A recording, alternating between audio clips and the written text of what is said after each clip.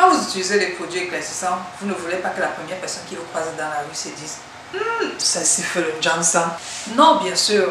Ce que vous voulez, c'est que la personne se demande est-ce qu'elle est métisse comme Farida? Ou alors qu'est-ce qu'elle utilise vraiment comme notre candidate Blandine de Benin, n'est-ce pas? C'est pour ça qu'il faut aller, comme on dit chez nous, nayo, nayo. Ça veut dire doucement, doucement. Si vous remarquez bien, elles ont utilisé ces produits sur au moins 6 mois avant d'avoir les résultats que vous voyez. Alors, soyez patient, comme je l'ai toujours dit.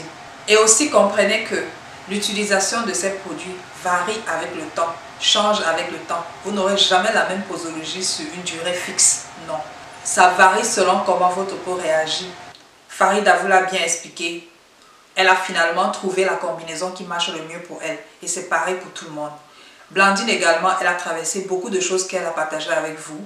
Et vous avez compris finalement que elle a trouvé des combinaisons qui marchent mieux pour elle. Donc, chaque personne a sa combinaison qui va marcher le mieux pour elle. Et c'est pour ça que vous devez vous laisser du temps. OK? Les produits éclaircissants, ça s'ajuste tout le temps. Parce que la peau évolue, l'éclaircissement évolue, ça ne reste pas statique.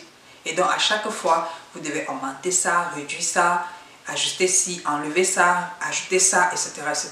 Voilà, voilà comment est-ce que l'éclaircissement de la peau se fait. C'est pour ça qu'on on appelle éclaircissement progressif. Mais attention, il faut savoir quoi mettre et quand.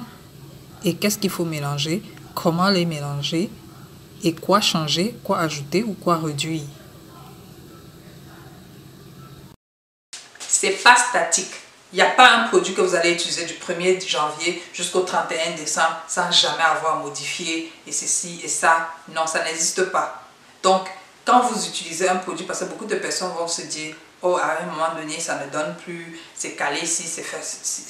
Et dans le sens de faire toujours l'éclaircissement progressif, je vous propose les gammes 55 ou Samira. Et si vous n'avez jamais utilisé de produit éclaircissant et que vous n'avez pas de problème sur votre peau, vous pouvez essayer le Claire White qui est beaucoup plus abordable au niveau du prix.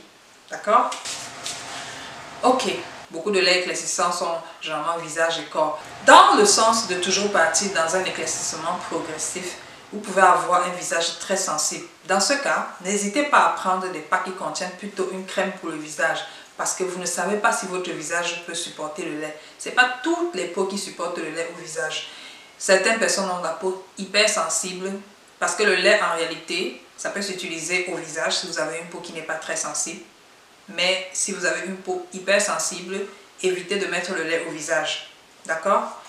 Donc, euh, voilà. Vous pouvez trouver les liens pour passer la commande sur la barre de description en bas de la vidéo ou d'autres liens qui vous permettront de trouver d'autres produits qui peuvent vous intéresser. J'espère que vous avez aimé cette vidéo. À la prochaine. Merci.